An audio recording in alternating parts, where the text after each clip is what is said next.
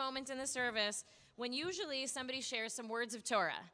Because, of course, we are people of the book and we share words of Torah. We come together because it's interesting, it's stimulating, and important. But a very important form of Torah is somebody's life story, life Torah, as it, as, as it were, right? And like, and it's a common thing to say, oh, a person's Torah, you know, like Rabbi Stephen's Torah is a Torah of dignity, you know, like almost everything he says in some way comes back to that, you know? Right? Right? It's and it's actually kind of it's a powerful thing to figure out you know like what it you know like what's what's my torah um, the holiday of simchat torah is coming up and and for many people like the, the torah coming full circle is an opportunity to ask like what's my life's torah what's my story and how and, and how do i tell my story through how i live through how i talk through how i preach through what i speak and so uh, we have a guest today um, in the spirit of in the spirit of the holiday of sukkot inviting people into our sukkah um, inviting people in. And so, Rabbi Jonathan Mendoza, do you want, do you want me to, you want to just wear it for the night? Uh, just take it. So, Jonathan Mendoza is, can I, can I read your bio and embarrass you?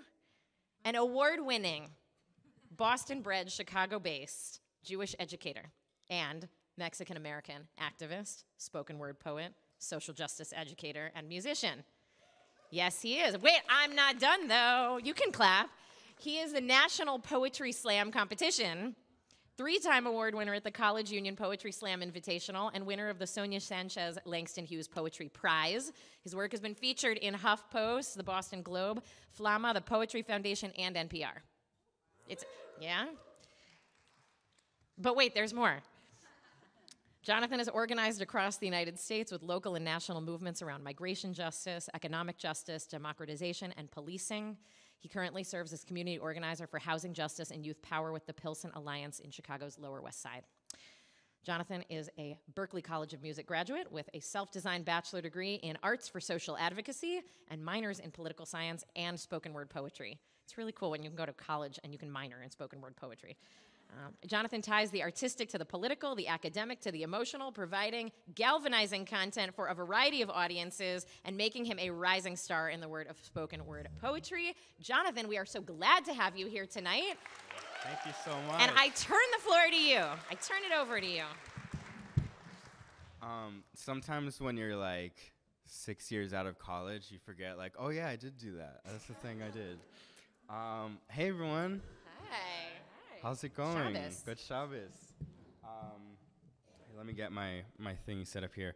Uh, it is such a pleasure to be here. I um, I haven't been in this space before, uh, so I, I have to admit I have to update my bio, embarrassingly. But I'm no longer uh, a, a staff member with Pilsen Alliance, but I do love them very dearly. I'm actually um, in Nashville, Tennessee currently, and so uh, to be back in Chicago uh, and be in one of my very strong roots. Though I grew up in Boston, I feel like I always say like I cut my teeth in Chicago. That's the that's the phrase, right? But I like to say like I trimmed my bangs or something. I don't know, just change it up a little bit. I did get a haircut today. Thank you for noticing. Um, but uh, it's just like such a pleasure to be here. I've heard so many wonderful things about Mishkan, um, and I'm seeing it all in person live. So thank you for for creating this space and inviting me in.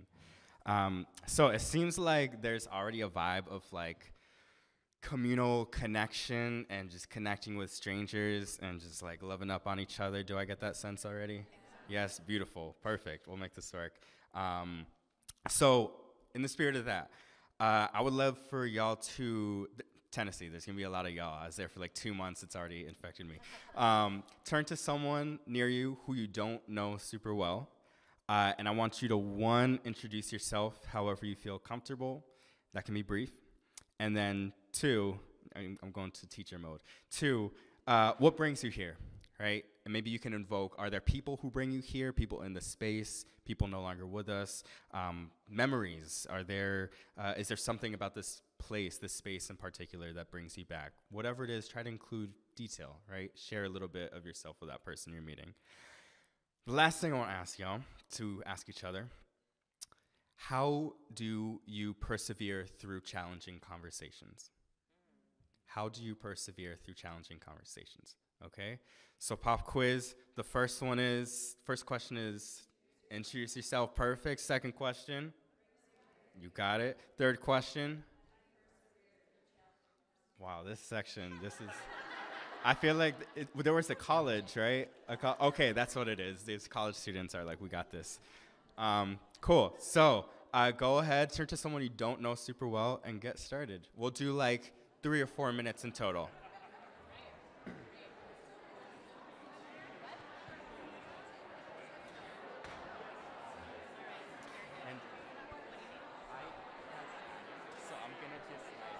All right.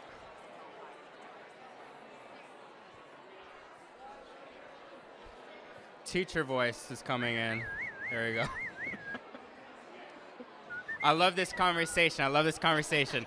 So we're gonna we're gonna keep the conversation going, but as a group. So if you can turn back away from your new best friends, I'm sorry.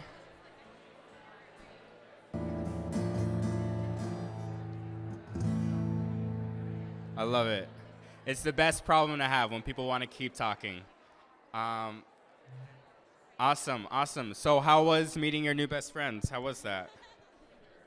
Good? Beautiful. So, uh, I want to get like a few folks to chime in um, with sharing back a little bit on what they talked about, but it's not going to be like a general everything they discussed, everything I discussed. Um, instead, I want to focus on what did you have in common? Okay? What did you have in common? So that can be for any of the questions. It can be anything with your introduction, something you connected with the other person. Uh, it can be you have something similar uh, that brings you here. Or also, it can be a way that you have in common of ways that you persevere through challenging conversation. Just feel free to toss up a hand if you had an interesting conversation, I feel like everyone did because people want to keep talking. There it is. I'll go one and then two. Go ahead. Awesome. Both committed to working on these challenging. Com- Can I ask, what does that look like for y'all?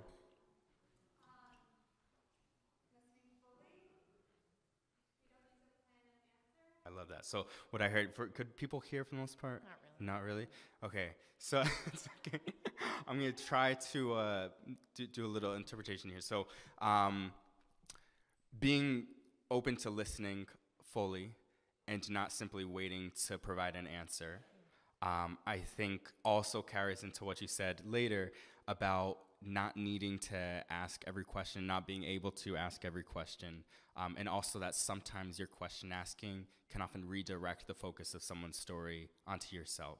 Um, so a theme I got from that was a lot of just openness to, to receiving someone's story, receiving someone's perspective um, and narrative, and that being crucial. Awesome. And how about over here?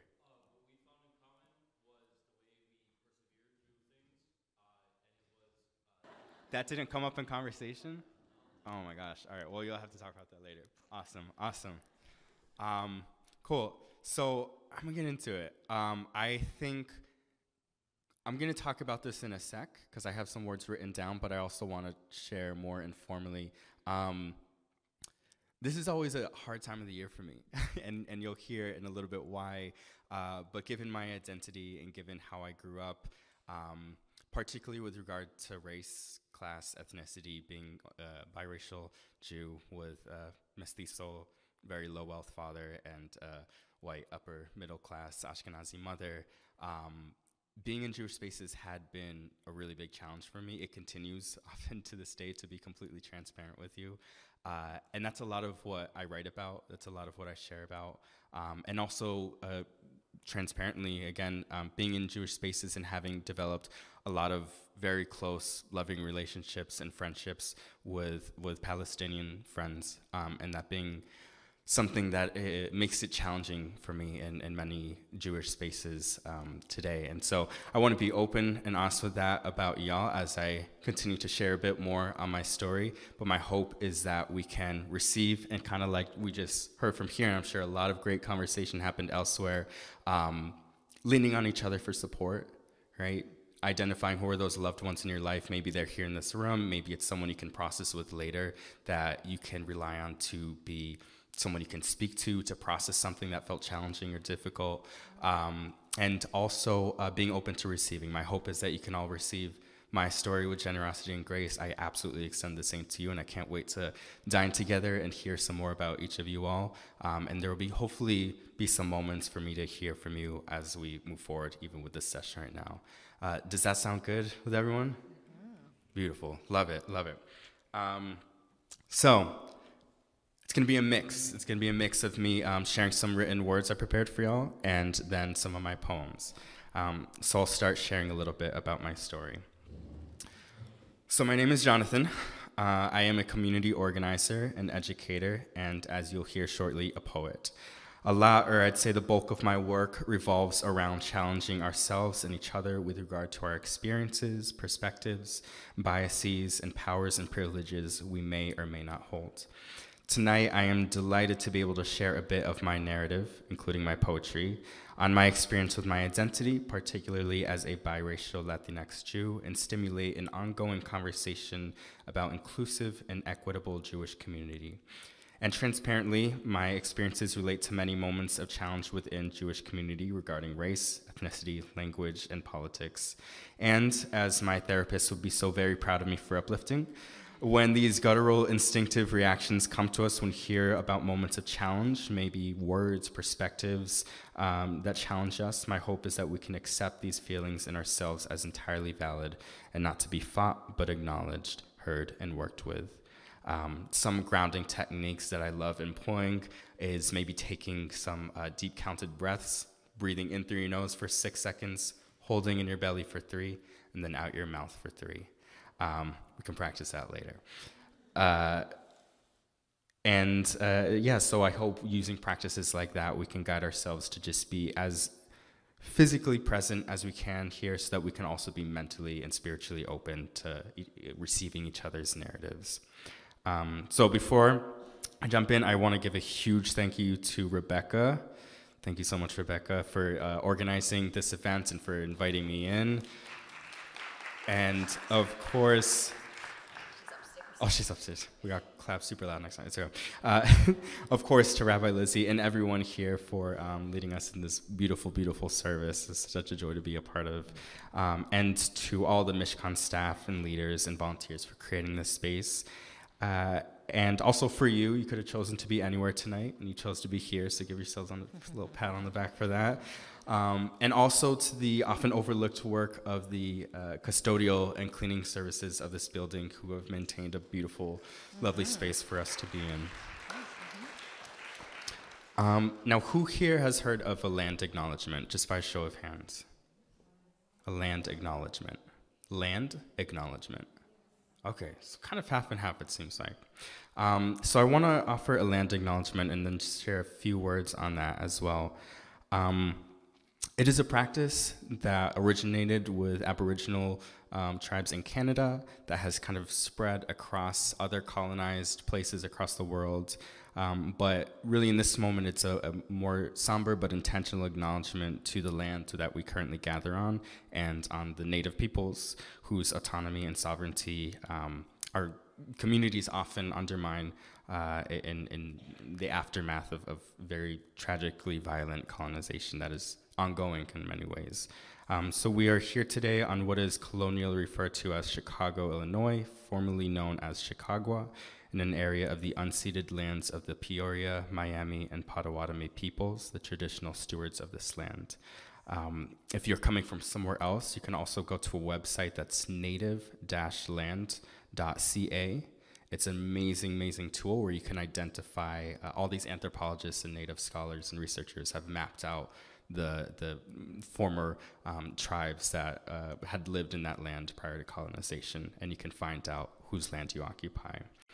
Um, and I think it's really apt, especially in this moment of Sukkot, when we are often thinking about land and appreciation of the abundance that land uh, and resources afford us, to also acknowledge the harms and complications that come with that.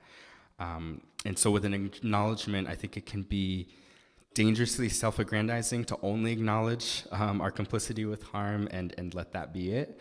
Uh, the metaphor I tried to stitch through here is it would be as though to steal someone's house and kick them out and then acknowledge that you have done so without ever returning the house. so I hope that this can be acknowledgement as a, as a first step in um, decolonizing and, and achieving a more just and liberated world that we can all happily partake in. Does that sound good? Beautiful. So um, I, will highlight Uplift Chi-Nations Youth Council. If you go to chinations.org, that's an amazing group of young people right here in Chicago, all indigenous leaders um, who are working on very tangible policies for how the city of Chicago and the state of Illinois can um, achieve equity with the native peoples that it has displaced. Uh, also, landback.org is a wonderful, wonderful um, campaign to do similar work nationally. And do y'all want to hear a poem? I think it's time. I think it's time. I, I was telling Grandma Lizzie, I was like, every time I like had a new thought for what I want to share tonight, I wrote it down, and now it's like 10,000 pages long. So you'll have to read the book later. Brown Boy, White Boy, after Angel Nafis and Jon Sands. Biracial boy in social justice seminar is asked to join a racial affinity group. People of color or white. White boy does not want to infiltrate safe space for people of color. Brown boy does not want to keep white people from having honest, constructive dialogue. Biracial boy does not know what he is. Recalls posting a survey on Facebook in middle school asking how people categorize him that would determine his clothes, his music, how he spoke. Biracial boy wishes the skin came with an instruction manual. Brown boy tells the white boy he should not identify as a person of color, that he can pass, that he should not appropriate a struggle that is not his. White boy tells brown boy that he will not identify as white, erase the brown from his blood, will not be the one who finishes the colonization of his own body. White boy visits family in Mexico, realizes he is the whitest intruder since conquistadors. Brown boy goes to white synagogue, is in the only family not invited to the dinner party. Biracial boy is welcome everywhere. Biracial boy is not welcome anywhere. Biracial boy is tug of war, but biracial boy is both sets of hands pulling at each end, and biracial boy is sorry for this poem, for taking up space, does not know if it's his white self that's doing so, if it's even letting the brown self speak. White boy apologizes for his privilege. Brown boy resents white boy for taking up so much space with apologies. White boy says, I'm sorry. Brown boy says, You're doing it again. Brown boy hates his white, this legacy like shingles all over his face. White boy gone, but biracial boy to brown family is still white, still looks like Coyote. Biracial boy is both the discolored sheep of each family and the dog that hunts it. Wishes he were purebred and not a mutt. Brown boy asks white boy what it's like not to get profiled, to go to your cousin's wedding in Arizona and feel safe. White boy goes to white barbecue, meets white cop. White cop does not know boy is biracial, starts talking immigration policy. Brown boy screams, hides inside white skin, white skin silent. White skin shield, white boy protector, white boy savior. But brown boy does not need white savior, strikes back at white self. But biracial boy during Latinx uprising does not know if he should sit down or speak up, to which army society has drafted him. Biracial boy is tug of war, but biracial boy is the rope, is frank, cannot hold his selves together. Biracial boy hates being two different selves recalls it's the world that made him this way, that split him in half, held oppressor and oppressed, insect and the boot, and biracial boy is both of them.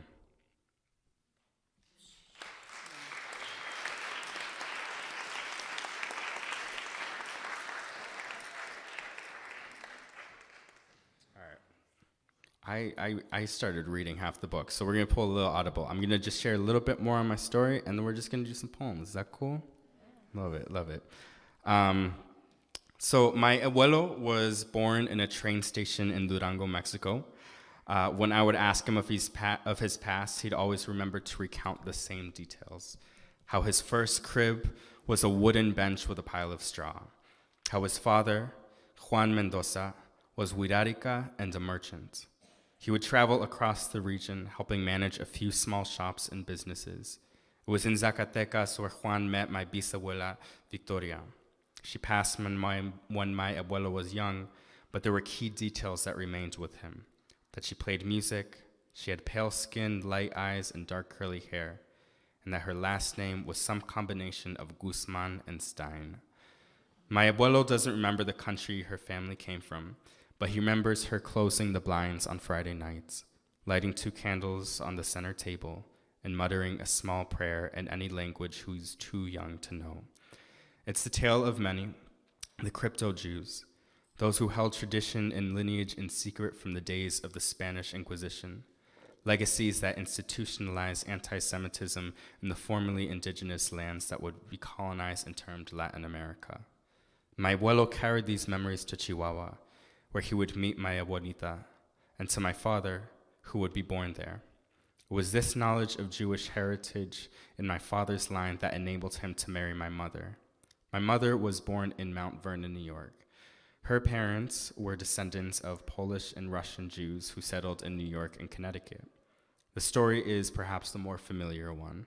Ashkenazi Jews who fled Eastern Europe to escape economic hardship, seek greater financial opportunity in the colonized United States, and to flee the always intensifying onslaught of pogroms, raids, carried across Eastern Europe in tandem with the politically strategic vilification and scapegoating of Jewish people.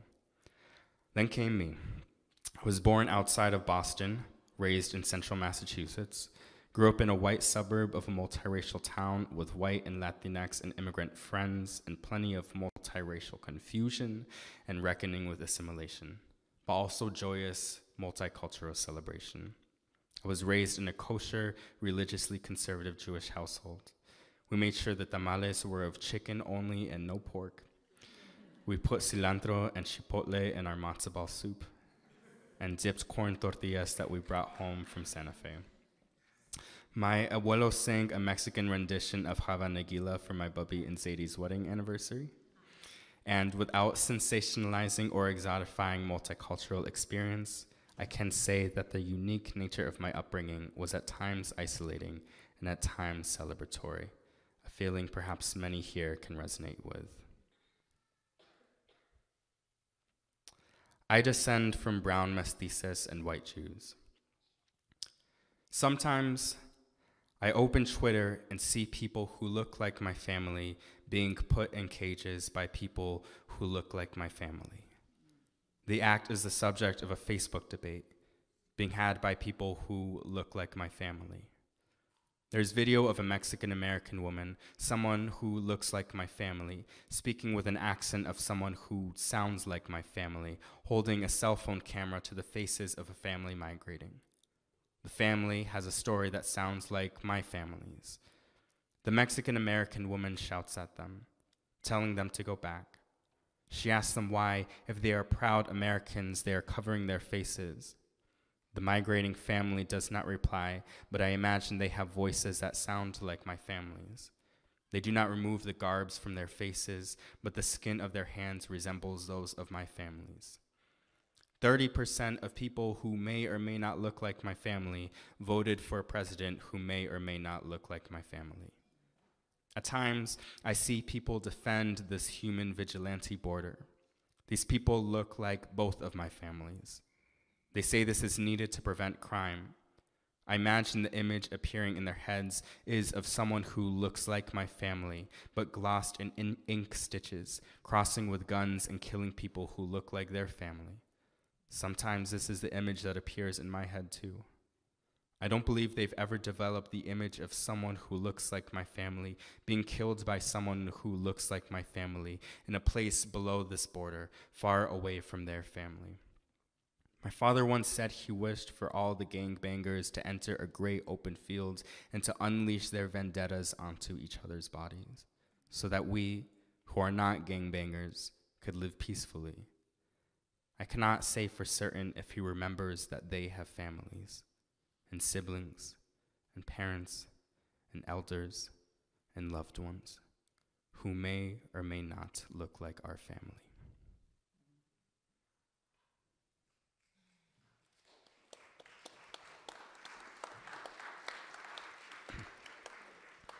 I'll share one more.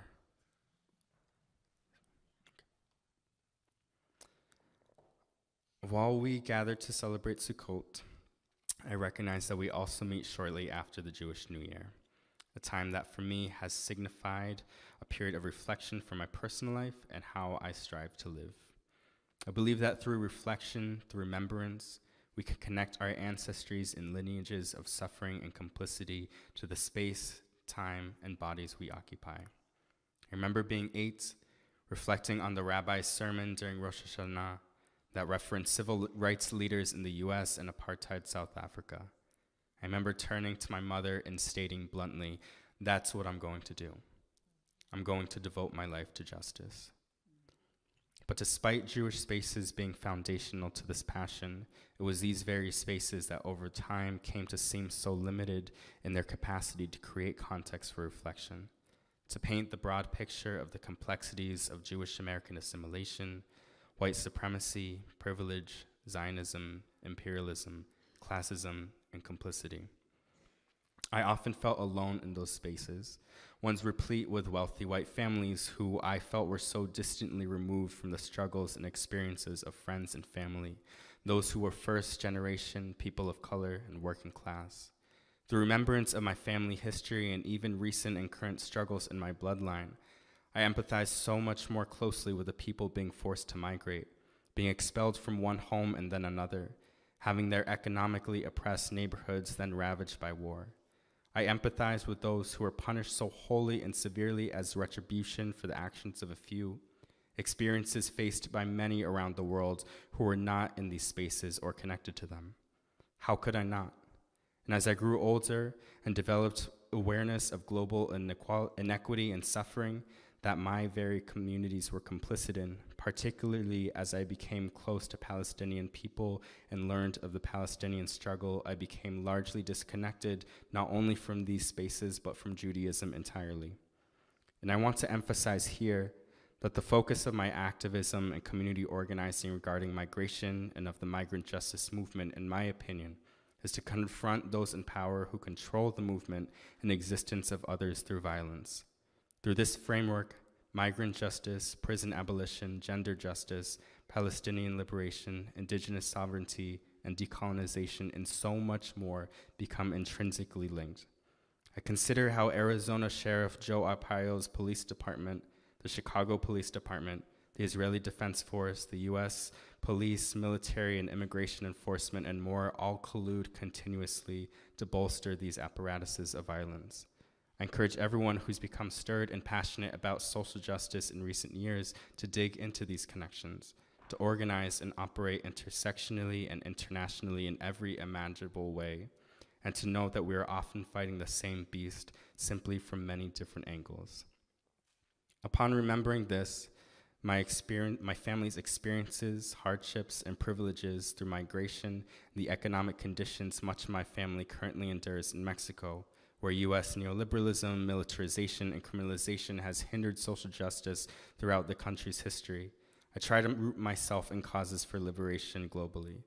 When I discovered radical Jewish spaces such as Jewish Voices for Peace, If Not Now, and many more, spaces that fully recall the interconnectedness between the freedom struggles of the Jewish diaspora with the struggles for Black, Palestinian, Indigenous, and migrant liberation, I began feeling that Judaism, my Judaism, my spirituality, culture, and religion could be capable of remembering our collective past in its entirety and using this remembrance as a scripture to guide, to guide our collective futures. This is what brought me back to Judaism. I'm going to share one more poem, and in summary of the rest of my book that will be available Sunday. Um, I had a wonderful conversation with Rabbi Lizzie about the connection between my story and Sukkot and what it meant um, to have ch- challenging conversations in this container specifically. And it was a beautiful reflection that we talked about um, the opportunity we're afforded by living in a period of abundance. Um, that in celebrating the abundance of the harvest, of this gathering of food that we're going to have, of thanks to the land, uh, this is a time when we maybe feel like we can afford to have some of those more challenging conversations where we can maybe engage with someone from a different perspective or whether it's Jews from a different background, a racialized background, Jews like myself who felt very um, pushed out of Jewish spaces for a long period of my life, and with non Jews, um, reckoning with race and class and Zionism in complicated and intense ways, uh, allow us to read into different histories, into different perspectives, different narratives, have conversations with Palestinian and indigenous and black uh, neighbors and community members, and be able to have and carry those complicated conversations in this environment of abundance.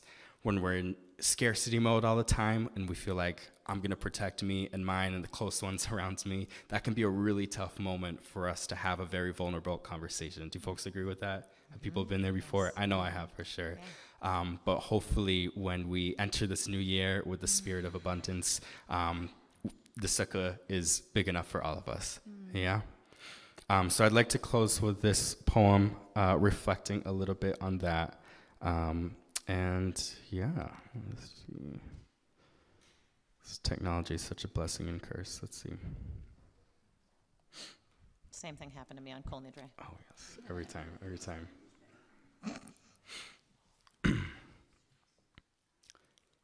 Confessions on gratitude. My father tells me of Chihuahua, his birthplace, of women selling roses on street corners to remain alive, of children washing cars or selling mangoes with no shoes.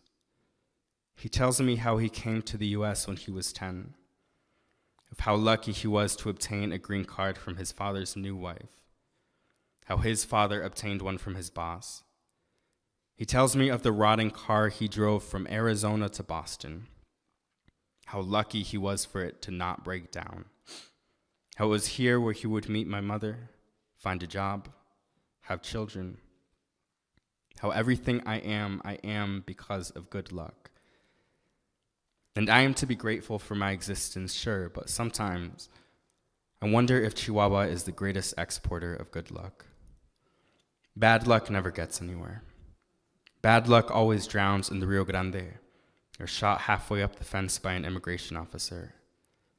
But good luck, good luck gets the affirmative action scholarship. Good luck applied for citizenship at the right time. I do not believe anyone died because they were not strong. I believe I survived because I was lucky. I'm lucky because the indigenous woman forced to bear me staring down the eye of a Spaniard's gun, did not end herself before starting me. I'm lucky because my Jewish family fled Russia before the raids began, because my Jewish family fled Poland before the raids began, because my Jewish family fled Spain before the raids began, because my Mexican family's green cards arrived after the raids began and I do not get to disassociate myself from those who are undocumented just because I have the fortune of being documented. I'm not joyful for good luck. Good luck implies the death of everyone who does not have it. I cannot celebrate good luck in a graveyard. I blow out the birthday candles, and each year I survive is a year someone did not. I walk to school unbombed. I go to bed undeported. I hit the bar undroned. I'm everything the ground did not bury. I want a victory out of this, but I don't know what candles to offer the ghost beside me. I want a cake, a party, balloons, a gift basket. I want it all entering the earth when they did. I am to be grateful for my existence, sure, but gratitude is a Cold War's reparation away from justice. Gratitude does not lift up the dead, does not spill the life back into a mother.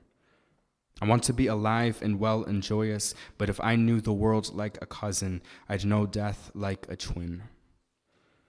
There is a boy somewhere with my name, and he does not get to write this poem. I write this poem because I am not him, but here, alive, so lucky. Thank you so much, everyone.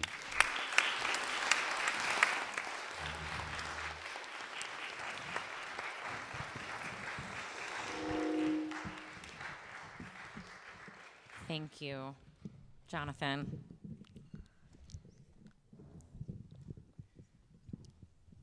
If people want to speak with Jonathan after services, so we're having dinner upstairs. Many of you are registered to come. If you're not, I think we have some spaces available still.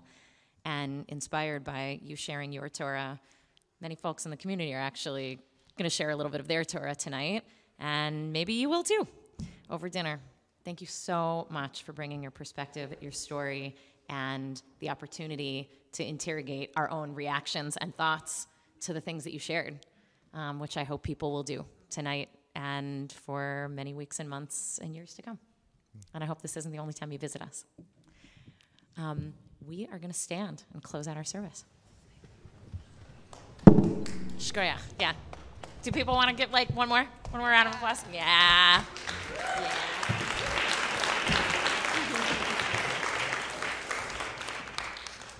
All right, we're on page 32.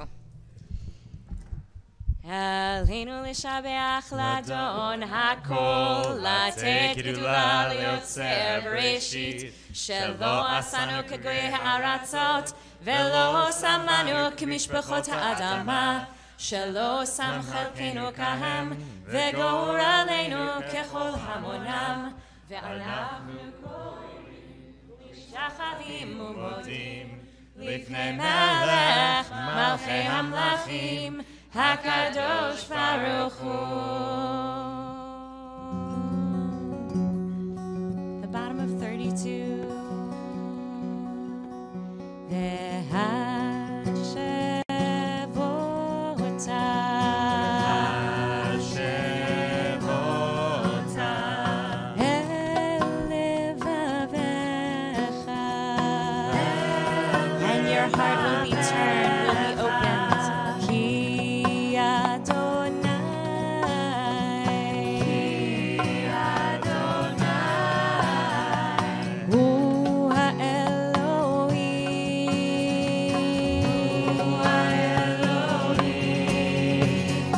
I share